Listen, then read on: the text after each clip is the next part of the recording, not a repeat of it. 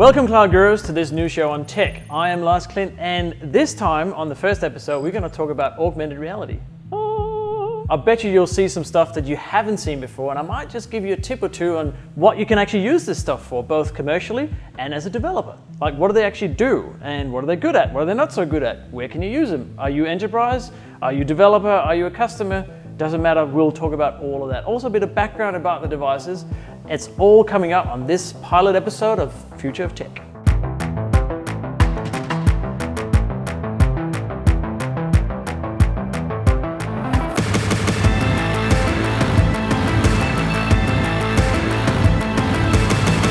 Now, before we start looking at these beautiful devices, let's just talk a little bit about the background of augmented reality. Now, it wasn't that long ago, actually, that it started. It's about early 90s, thereabouts, that the American military had a good idea they called virtual fixtures. Now, they wanted to be able to remotely control a robot or some sort of machinery. And they came up with this idea of wearing an exoskeleton or like a piece of scaffolding uh, from the user and then remotely control the, the hands of this robot. Now, in order to do that, you wear this thing and they overlay the actual hands of the robot digitally. So when you control it, it looked like it was your hands controlling. It was very cool, very convincing, and it worked well for probably bomb disposal scenarios or something kind of dangerous, which is what they wanted to use it for. Now, the first kind of what we know as augmented reality experience came in the form of phones, right? So it was very basic, very, very simple kind of ideas that allowed you to have augmentation of your reality. So you took your smartphone and you had a trigger point or some sort of character or symbol that would trigger the experience. So you point your phone at it, could be a QR code, for example, or it could be a picture of a boat. And, and this boat would then, for example, come to life on the phone. So you'd get this sort of 3D nice image uh, as an augmentation of the reality, hence the word augmented reality. And it was very powerful and it was very convincing if you were going to buy, say, a luxury yacht, because this would bob on top of the sales brochure or whatever. Um, but it was kind of limited, very simple, very basic. And it was all dependent on this kind of you know, symbol to generate the experience. Now, the next thing that came along, sort of probably about five years ago, was what we call Google Glass. In about 2013, 2012, there were rumors of this new head-worn device. And why this was particularly groundbreaking was that you had your hands free. So you wore these glasses, or these Google glasses, and you were seeing through one eye, you had an augmentation of reality but it let you use your hands. And everything was voice command controlled, and you could take pictures of uh, the environments. You can get GPS coordinates, you can get GPS navigation instructions, all that sort of thing were available with the Google Glass. It was really good for production lines as well. Tesla cars used it for a long time. I think they're still using it actually for just-in-time information on what was available on the production line, if they were running out, if they were on schedule, all this sort of stuff in real time. Again, you had your hands free to do whatever you needed to do. Essentially, that was a heads-up display it didn't do much other than show some information in front of the user that was not really dependent on the environment, but more just of what the user was seeing. Now, just to, to compare with that, we have virtual reality, and it's, we're not going to talk about virtual reality today as such, but it's important to know what it is in relation to augmented reality. So virtual reality is a much, much older concept. It actually started about 200 years ago uh, with something called stereoscopic images, uh, which is like your 3D glasses today. You had two images, they overlay each other, and you got this sort of virtual imagery experience uh, a long time ago. Fast forward to about the mid 80s, and it was being used with big headsets, uh, large supercomputers at the time. And it's probably like this actually, today's power. and uh, there was both commercial experiences and there was some consumer experiences where you can go around and shoot each other with 8-bit arrows. Um, it was all very cool in the 80s but it kind of died out a little bit and uh, has recently got a revival with what we know as the HTC Vive and the Oculus Rift, PlayStation VR, and there's a lot more devices coming. Something like Google Cardboard, you put your phone inside a piece of cardboard, your Android phone, uh, and it effectively splits your screen up into two, in one for each eye, and you wear, you can look through this cardboard uh, contraption. Very accessible, uh, very cheap to use, very easy as a developer to develop for. But we're not going to talk much more about virtual reality today because we're focusing on this, augmented reality. So now we talked about the, well, the background, the history of these devices, but the present day is, well, it's much more interesting, I think. So what's happening now is that we have more of a spectrum, really, of where AR and VR fits in. So you can say one end of the spectrum you have pure AR, so that's where you have just an overlay of data that sits on top of the real world. Uh, as you know, digital assets that you can see.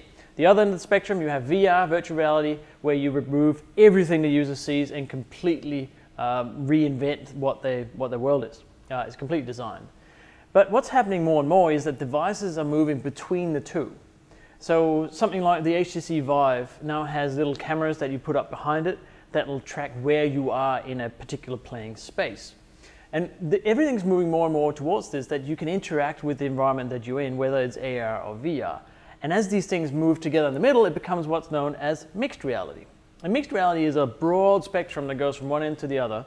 Some of them are more VR focused, some are more AR focused, but everything is kind of um, redefined.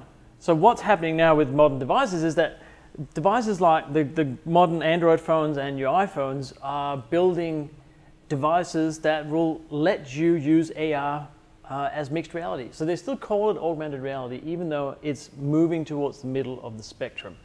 From Apple, it's ARKit, and from Google, it's AR Core. And these are two technologies that consumers necessarily don't know about, but they know what they do, right? The Apple device, is, in particular, I want to show you a really cool app from IKEA, of all places, um, that lets you place furniture in your room. Now, it's not just furniture, it's any kind of IKEA furniture, but it's not real. so let's place some furniture in the room. Uh, I like this couch. It's a very nice couch. So let's move it. Oh, we'll see. We can move it with here, move it over here, kind of swivel it around, and we can place it there with a little tap. Now if I move away a bit, you can see that I can see the whole of this couch in real time. It's in my space. Now it's not super, super accurate yet because the mapping of the room maybe be a little bit off, so it, know, it doesn't know exactly where all the floors are, but you get the idea. So that's ARKit from Apple. AR Core from Android or from Google works very much in the same way. It uses just the hardware that's in here, so it's your, your gyroscope, your accelerometer, the camera, and it, it fixes points, or it finds points that it can you know, place in the real space, such as you know, corners of the table or whatever it might be, and it'll then use that for tracking. So that means you can place things on the table or on the floor in real time. It's very, very powerful. VR is also going towards more of a mixed reality space. What's happening now is that you can, I've seen an example where you can have what's called the Magic Leap. So Magic Leap is a, a finger tracking device essentially, very, very accurate tracking of fingers. If you combine that with virtual reality, you can suddenly see your real fingers or real hands in the virtual reality space. And I've seen an example where someone picks a virtual flower, so it's in the virtual reality world, with their real hand. Uh, it looks, it's, yeah, it blows your socks off, both of them. The best example at the, at the moment for mixed reality that I can think of, and is, is a bit of a passion of mine, I agree, is this little buddy here, right? So this is the Microsoft HoloLens. It's a self-contained unit, so there's nothing else needed to run it except what I have in my hand. And it's called mixed reality because it mixes your real world and your digital world very, very cleverly. So on it here, there are some environmental cameras at the top. There's four of them. And they'll map your room or your space in real time. So it'll give you a very, very, very precise 3D representation of your space. That will then live inside the HoloLens and you can place things on it. So you can suddenly start interacting digitally with the physical space. As an example, I have a physical table here. If I place a digital ball on it and it just sits there, if I were to tip the table and change essentially the gravity on it, or the, the forces on it, the ball would roll off. It, the digital ball would roll off the real table. That is really, really powerful. All right, opening holograms.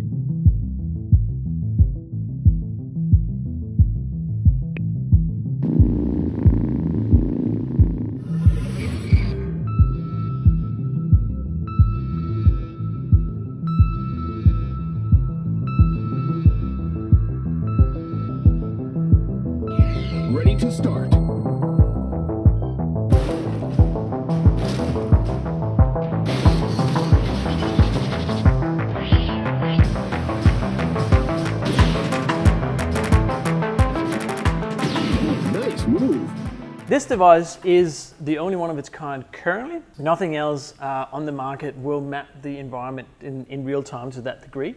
Uh, and it opens up a whole bunch of new avenues of, of improvement. So for industry, if you're in healthcare, for example, you can use this to overlay surgical tools that are inside the patient so you can see exactly where they are at all times. Now, this is still experimental, obviously. This is not something that's in, in real world right now, um, but it's coming. If you're in an engineering plant, you can recognize objects. So you can use a service called Vuforia, for example. Uh, it has a, an API that you can use for your development and let you recognize specific images or specific 3D objects and suddenly have actions based on that. For example, in a, in a manufacturing environment, you can do uh, get performance um, figures for that particular machine. You can get maintenance schedules or whatever it might be that you need in that particular scenario. Very, very powerful device. Coming on from this, so this is mixed reality as well. Um, this is mixing obviously digital and physical. Now there's other devices as well, which are these called Windows mixed reality headsets.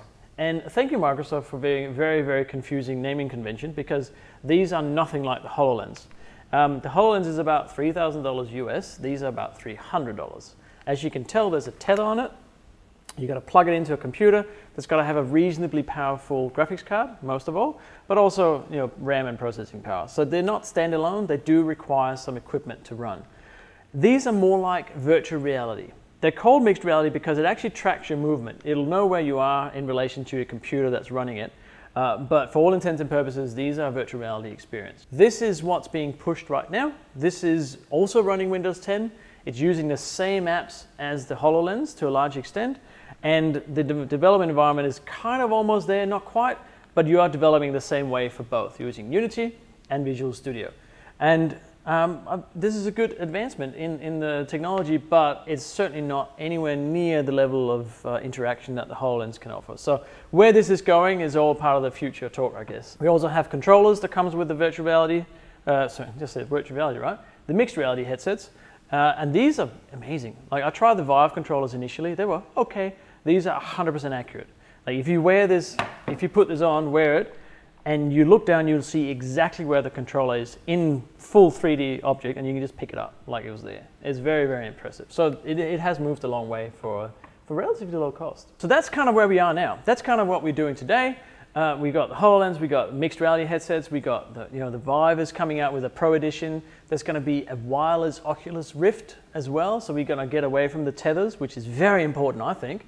And we're going to have a much more interactive um, let's say, roadmap for these the experiences. Uh, you know, it, it is here to stay. This is not going anywhere. Devices are going to get smaller, cheaper, easier to develop for. That's essentially where we are today.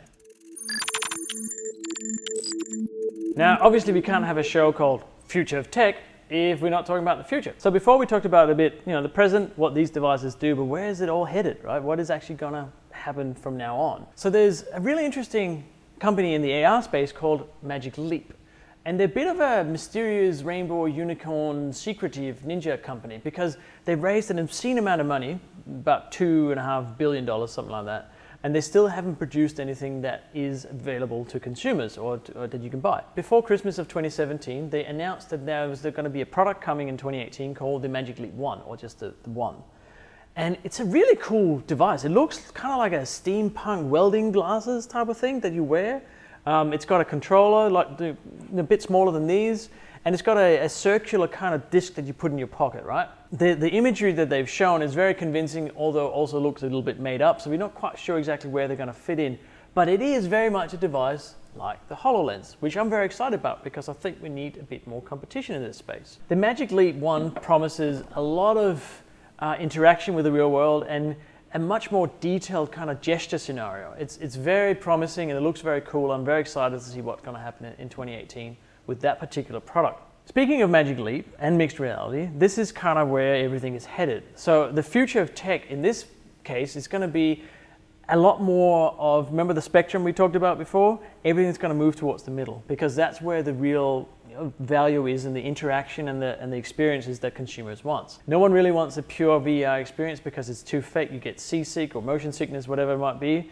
Um, or no one wants a real, uh, a pure AR because it's just data on top of us, you know, your real world. It's not that interactive. We want to be in the middle somehow.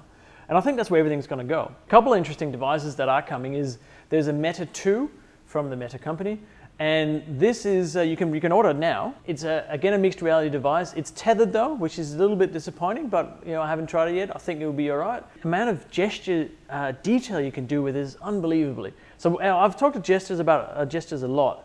With HoloLens, you use kind of this gesture all the time, tap. That's about all you can do. You can kind of tap and hold and move your hand around, but that's pretty much it. It's kind of limited, but also easy to, rem to remember. The Meta 2 has much more detailed um, gestures where you can kind of hold things and move them around in 3D and you have a little toolbox you can grab things out of and put it's very very convincing and very cool. And it, it, also allows you actually to interact in real time with other devices. Like they have this whole sort of interaction platform which just looks very very promising. There's also the uh, the oculus go. So this is again i talked briefly mentioned before about the uh, untethered version of the oculus rift. And this has massive potential. So it still is a vr um, experience, but because it's untethered, you can have much larger playing areas. You can map out your playing areas to a much larger degree. And that is really exciting as well. I'm keen to see what the battery life is though, because that's always a problem. Of course, there's the HTC Vive Pro, which I mentioned as well, which is also the, uh, the higher resolution. I think they're going to 4K now, and they have a, an untethered version as far as I'm aware as well. So it's all kind of going towards the mixed reality idea of free movement and and one device for everything and not having to, uh, to hook anything up. What does this look like in actual implementation? Like, where's this going? What are you going to do with this stuff in the future? Now, there's different industries, obviously, that can benefit from it in different ways. Imagine you're at a coffee shop, and today you kind of look up behind the coffee shop on the blackboard, and there's some prices on this is your latte, and there's your muffin, and your banana bread, or whatever it is that you buy at your coffee shop. Imagine if they didn't have to update that and you just needed your phone or your glasses or whatever it might be that the AI experience is coming through. And you look at this and it recognizes where you are, because GPS obviously, and it then just shows you the menu. Or it might be the deal of the day, or it might know that, you know, because it's you, you're wearing the device, it says, oh, you've been here 10 times before, today you get this special offer, whatever it might be.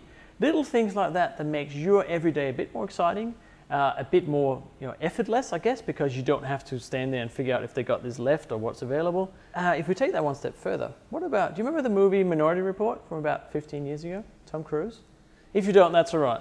But if you do, you remember this particular scene where he's moving memories around in like thin air, right? There's images floating, and he just kind of goes, and he throws it over there, and it comes back into the screen, and he gets one out of the. Know, everything's kind of like hand gestures, and he's not wearing anything you know, to augment it and see it, which I think you probably would. But imagine that. Like you'd have six screens today and you just have it in one sort of environment and you've got your, your coding or your Excel spreadsheet. Oh, probably not Excel, uh, it's a bit boring. But something cool, right? on, the, on the screen. And you just kind of move it around with your hands and you might have a keyboard or you might just use voice commands. I think that's where we're headed and I think that's very exciting. Another technology that is not really in mainstream media, but I've been following up on quite a bit is the use of haptics. So you know haptics from your phone. If it vibrates, you know that's a haptic feedback. Uh, it could be that you're using your fingerprint sensor and it goes, that's a haptic. Imagine if you had a suit on, a full suit, and everything in it was haptic, or it had some sort of feedback at various places. So if you're doing a zombie game, you get shot and you can feel it in your arm. Or if you're um, you know, doing surgery, you can kind of feel the, the brain matter of the patient. Oh, that's a bit disgusting, isn't it? But you know, you get my drift haptics feedback. So feedback in real time from the environment that you are you know, virtually in or mixed reality in um, is really cool. And it is coming. I have seen full suits. It looks a bit, it looks a bit like a wetsuit and it has these sensors in it. Um, there's also gloves that are super, super sensitive. So everything in your fingers you can feel in real time with haptic gloves on. And I think that's a really cool extra step. I'm not exactly sure where that's going to fit in. Are people going to be gaming with a whole suit on? Are, you know, what's going to happen? I'm not sure. But I think it has place there somewhere. It's very cool. So thank you for watching. This show is for you. We want to know if you want to hear about a different theme. Uh, is there something that you want to hear about that, uh, that you're really passionate about? Did we do something that wasn't right? Have you got questions? Any kind of feedback is very welcome, and we reward it all with holographic kittens as well. Thanks for watching. I'm Lars Klint, and this is The Future of Tech, the show that places me as a hologram in your living room. Goodbye.